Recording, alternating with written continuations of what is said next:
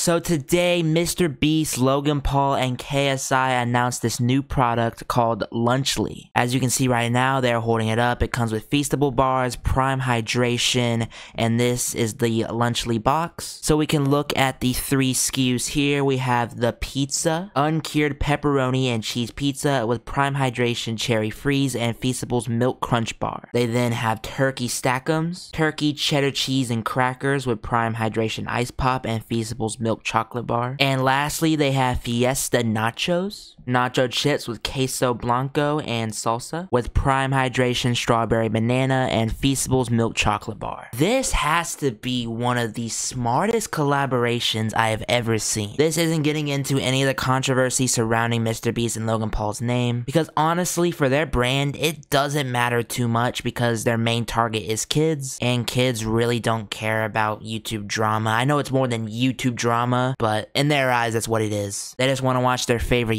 YouTubers, and to see this on store shelves, they're gonna go crazy over that. You'll be the most popular kid on the playground if you brought the Lunchly to the cafeteria. So we can see this here on the website, brought to you by creators that leave no crumbs. It's time to grab it and go get them. We have the us versus them page, where they basically try to tell you that they're better than Lunchables in every way. Flavorful combos versus standard pick. 400 milligrams of electrolytes per prime flavor in each Lunchly pack compared to 55 milligrams of electrolytes in every Capri Sun. Bold packaging versus basic packaging. Big gestures versus mid moments. Eat the day. So they are advertising 11 grams of protein, 230 calories, 400 milligrams of electrolytes, and 7 grams of sugar, compared to 11 grams of protein, 310 calories, 55 milligrams of electrolytes, and 21 grams of sugar. And then you can see right here is the same thing for the pizza, even though this one isn't as much of a difference. It's just in the electrolytes, because look, 360 compared to 390. Then here's the Fiesta Nachos, which actually has more protein in it, which this one has less protein in it. It's like very close to each other though. This isn't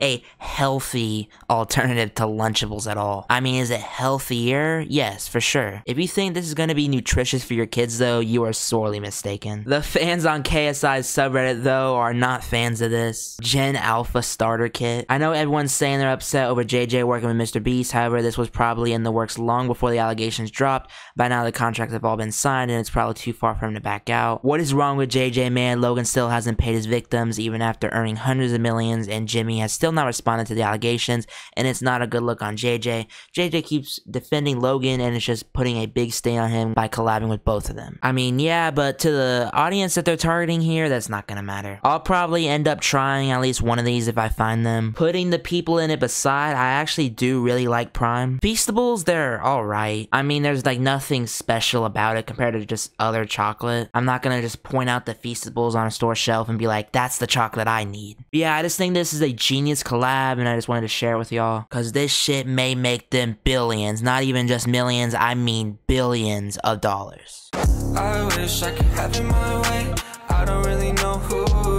Blame, but you said you were giving me space, then forever went away. Hey, at night in the garden I roam. Since the day you left, no flowers grow. My skin's gone purple from the cold.